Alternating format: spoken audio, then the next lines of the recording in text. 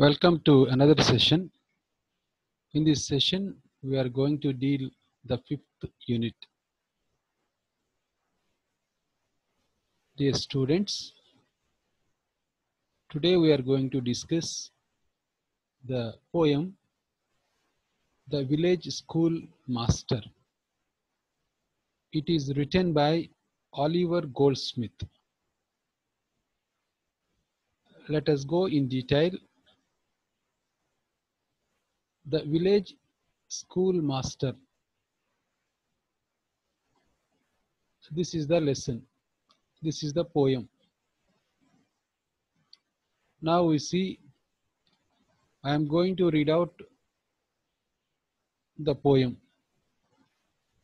Beside an straggling fence that stick, skits the way with blossoms perch uncomfortably gay there in his noisy mansion, skilled to rule. The village master taught his little school. A man severe he was and stern to view. I knew him well, and every trant knew. Well had the boarding tremblers learned to grace the day's disasters in his morning face. Full well they laughed with counterfeited glee. At all his jokes, for many a joke had he. Full well the busy whisper circling round conveyed the dismal tidings when he frowned.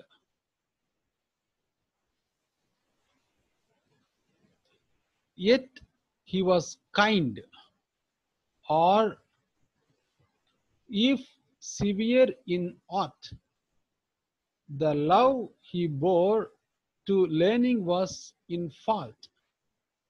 The village all declared how much he knew. It was certain he could write and cipher too. Lands he could measure, terms and tides presage, and even the story ran that he could guess. In arguing too, the parson won his skill, for even though vanquished, he could argue still while words of learned length and thunder ring sound amazed gazing rustics rang around. And still they guessed and still the wonder grew. That one small head could carry all he knew but past is all his fame the very spot where many a time he triumphed is forgot. This is the poem. When we see this poem, right, this is the first stanza. Beside an straggling fence that skids the way with blossomed perch, uncomfortably gay. There in his noisy mansion, skilled to rule, the village master taught his little school. In these four lines, we can observe the description about the school. First, let us see the meanings for this first stanza. Fence means boundary or barrier. Skids means go around. Blossomed means a mass of flowers. Fudge is grass. Uncomfortably being without profit. Gay, merry mansion, large impressive house.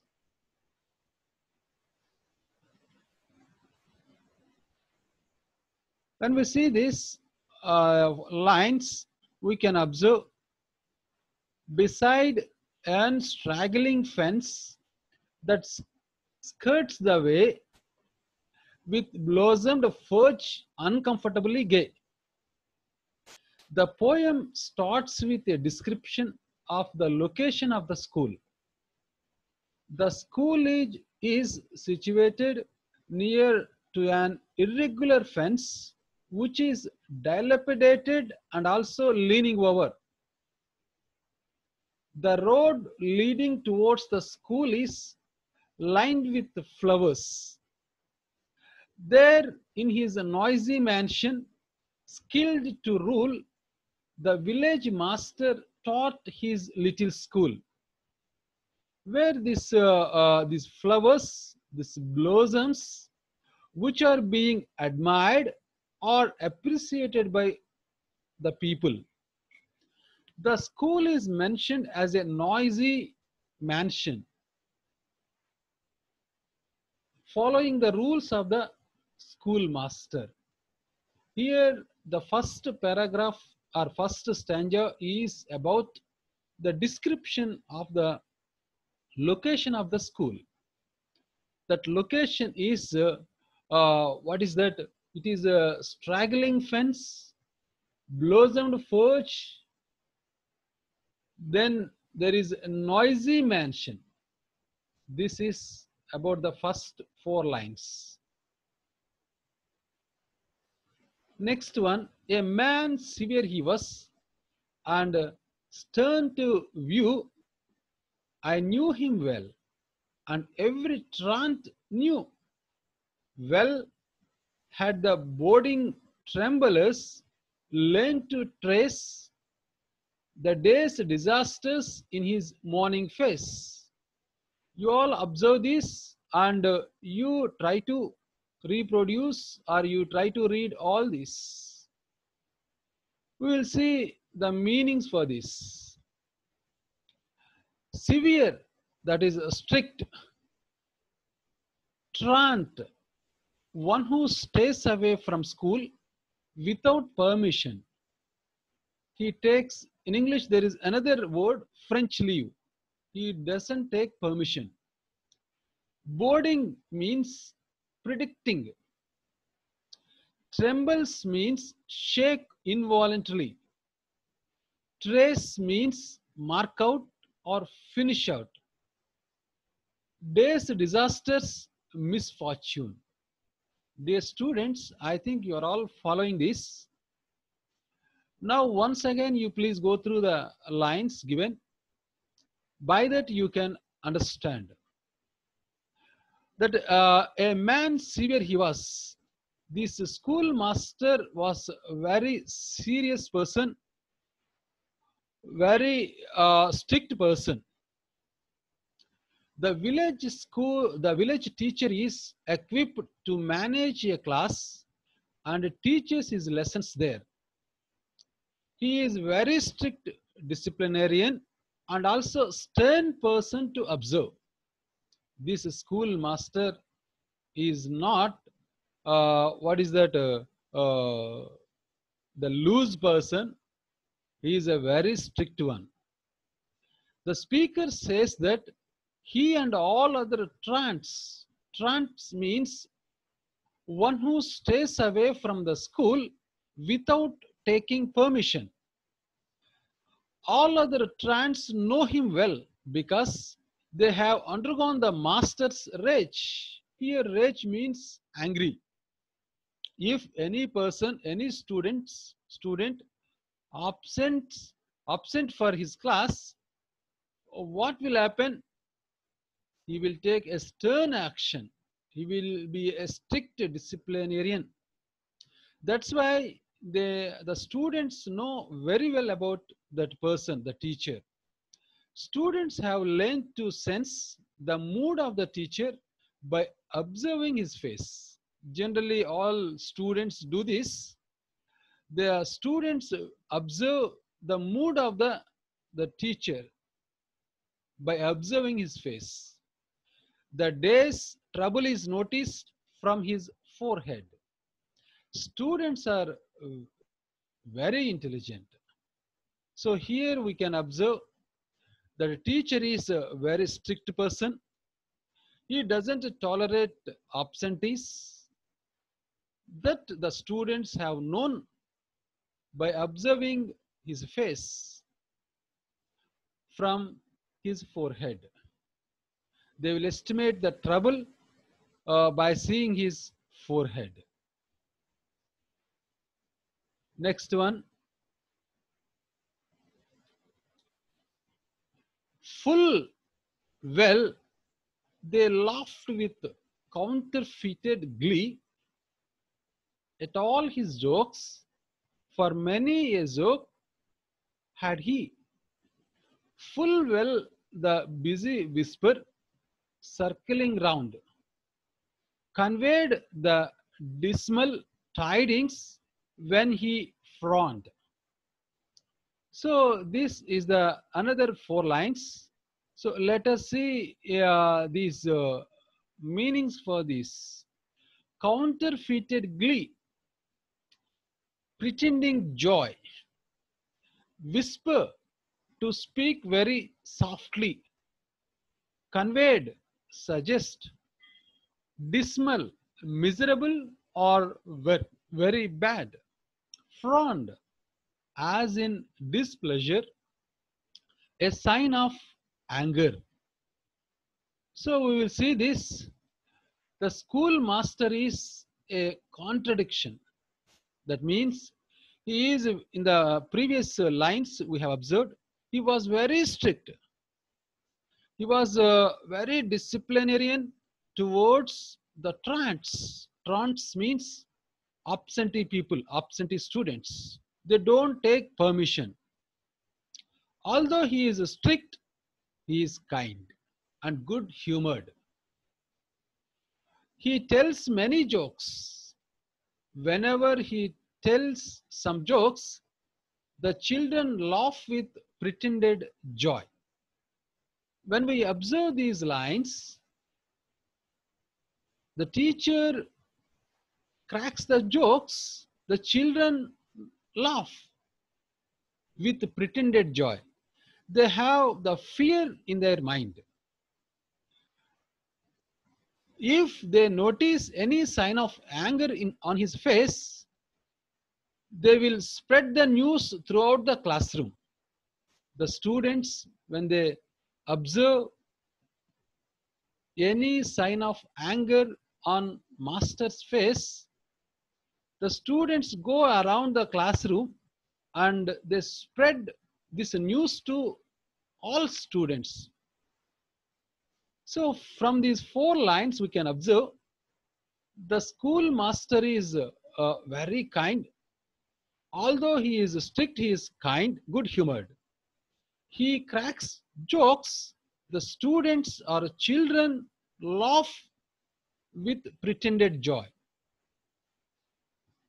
When they observe any anger on the face of his schoolmaster, they spread this news to the total classroom. We'll see the next lines.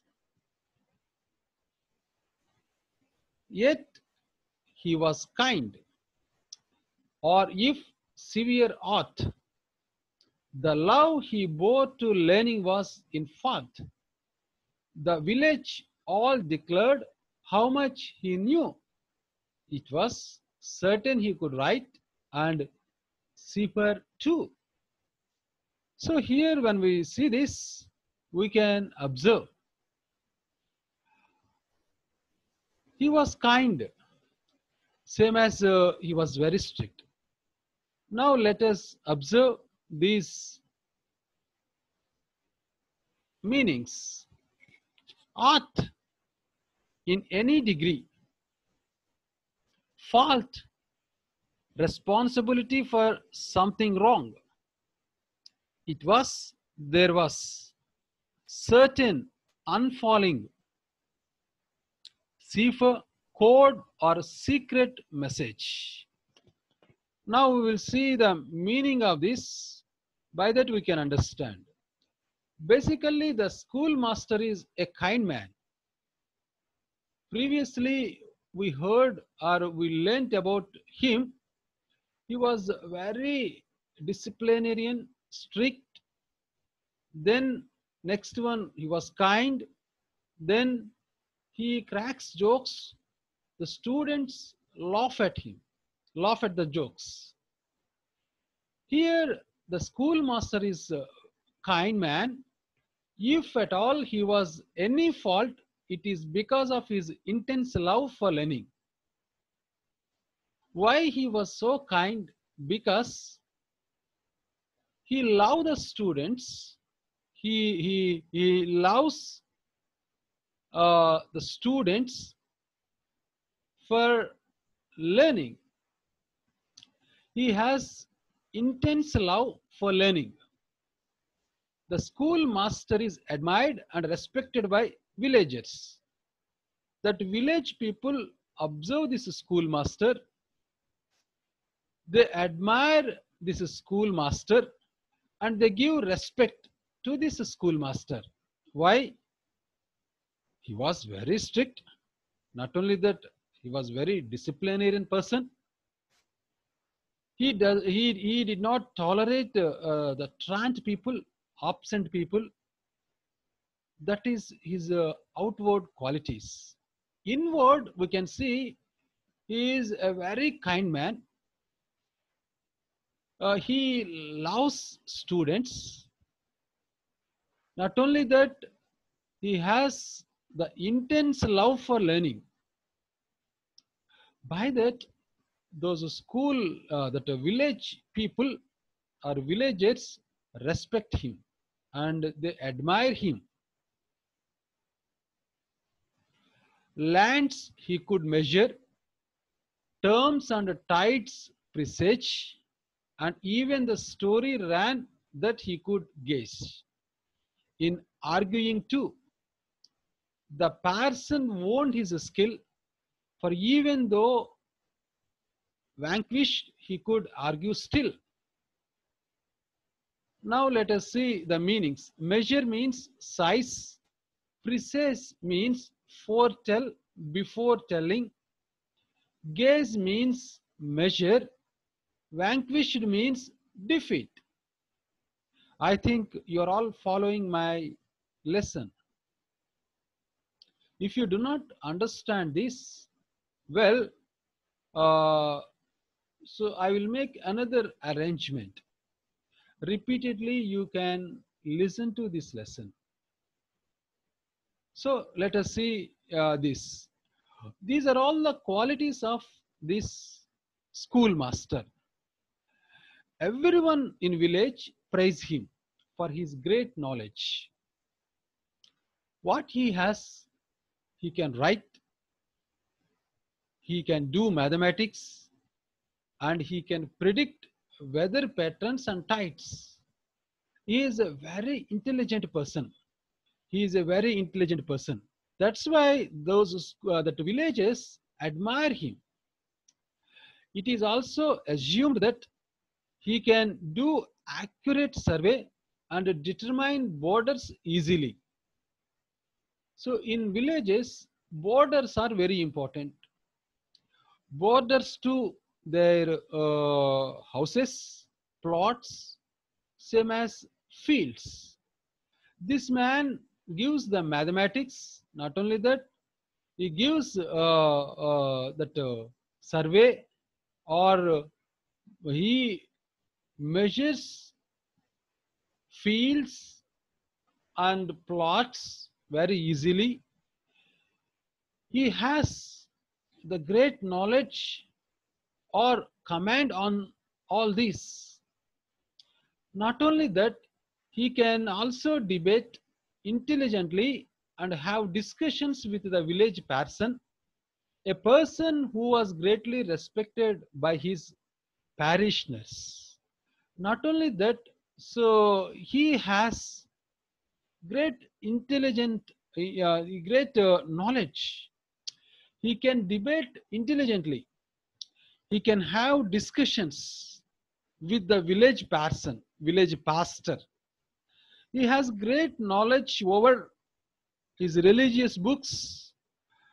And not only that, those pastors or the parish priests give respect to him. So these are all the qualities of this schoolmaster. When we see the uh, the initial, the first slides, the first uh, slides are first four lines describes that school atmosphere, how that school is. Then the characteristics of this schoolmaster. Then the villagers admire this person, this person. And then he has great knowledge over mathematics, weather patterns and tides, and survey. Not only that, and uh, some religious contents also. While words of learned length and thundering sound amazed gazing rustics ranged around and still they gazed and still the wonder grew. That one small head could carry all he knew. This is the another direction. We can see here the length means size thund thundering means uh, producing extraordinary sound. Rustics means villages now let us see the meaning of this one the master uses words and emotional language to convince and impress the poorly educated village people he has a great knowledge over weather, survey, mathematics, and religious books. That's why he was uh, impressed by villagers and parish priests. Now we can see another direction. The master uses difficult words and emotional language to convince the impress uh, and impress the poorly educated village people with his language with his words with his emotional speech he impresses those villagers the person also accepts master's skill that parish person also accepts this master's knowledge as well as his skill in debate Sometimes, even after being defeated in arguments, the schoolmaster continued to speak. Sometimes he was uh, defeated in arguments, he continues to speak. The village people wonder how his small head could contain so much knowledge. Those villagers get astonished about this person, how he had this much knowledge in his small head. They think about this. So these are all the qualities of the village school master.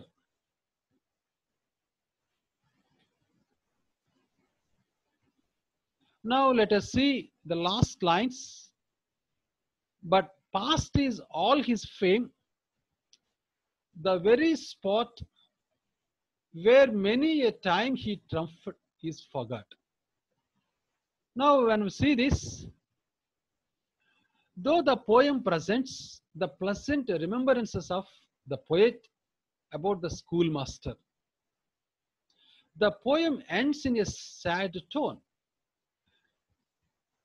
Previously, we have discussed the qualities of a schoolmaster there are different qualities.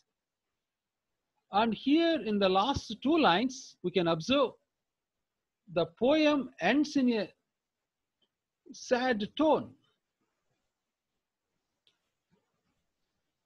The last two lines tell the present condition. These two lines are, but past is all his fame.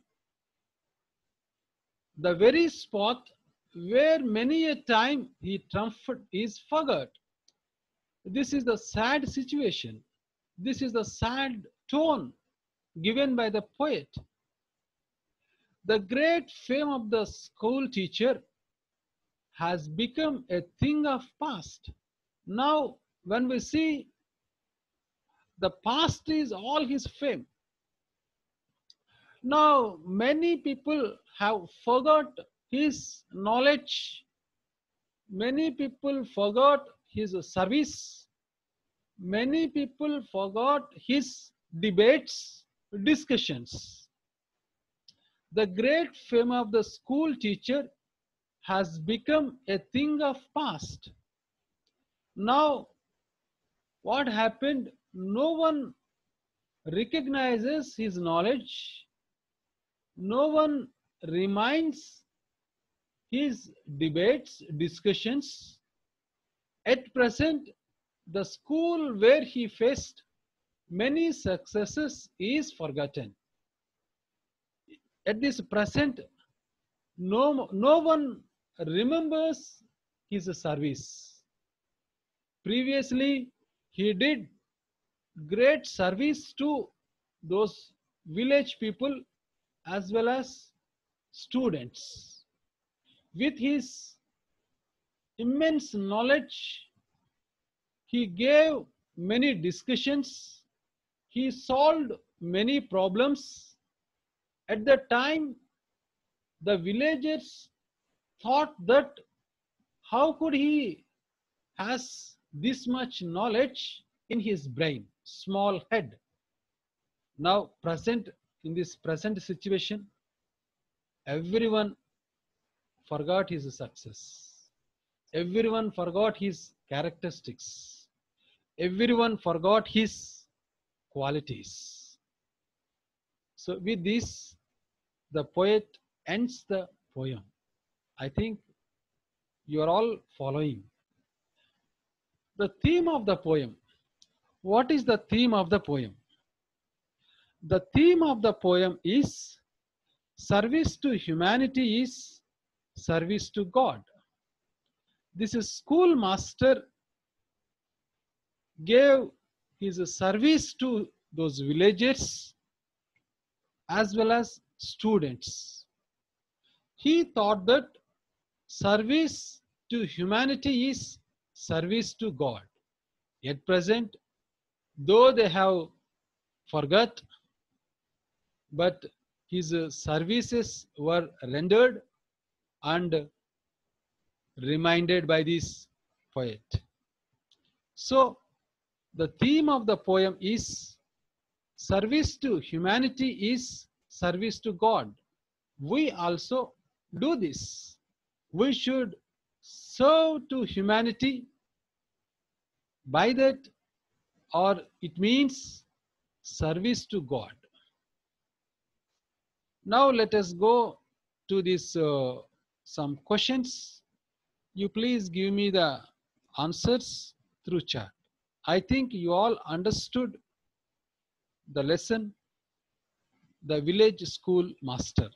Now let us see some questions regarding that poem. Who is the author of school teacher, school master? This is the poem.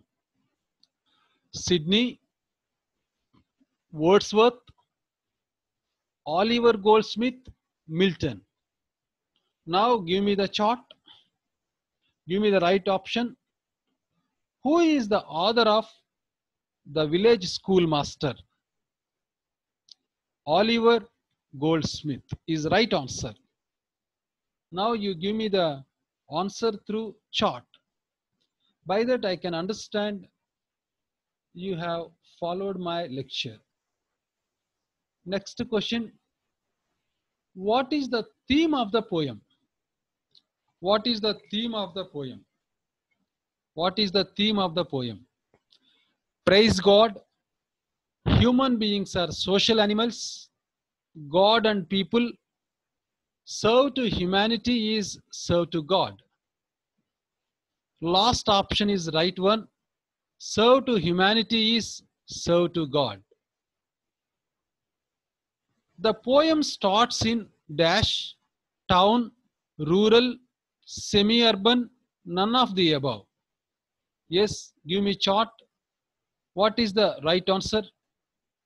Which option is the right one? The second option is the right one, that is rural. Next one you see, the school is well constructed, off constructed. The school is a mansion, noisy mansion, or none of the above. Which is the right one? Yes, mansion is right one. The school is big, medium, small. Which option is right? It is small. That is the village. So in villages, we have small schools. The road leading towards the school is lined with artificial decoration, coloring, flowers, grass. Yes, which is the right option? Think. Give me the right option. Flowers. In the first stanza, we can observe blossomed, blossoms, flowers. What is the meaning of fence? Fetch, fail, boundary, barrier, freak. Yes, the right option is boundary or barrier. What is the meaning of furze? Prawn, good, grass, grown. What is the right option? The right option is yes. The right option is grass. Furze means grass. The schoolmaster is very dash, lazy, lethargic, strict disciplinarian, or loose. yes, you are following. The schoolmaster is very strict, very strict disciplinarian. He doesn't bear the taunts, the persons who takes the French leave. Severe means, what is the meaning of this severe?